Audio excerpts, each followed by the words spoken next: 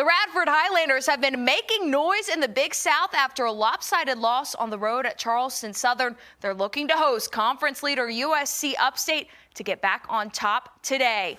Battling the Spartans for a chance to share first place in the Big South.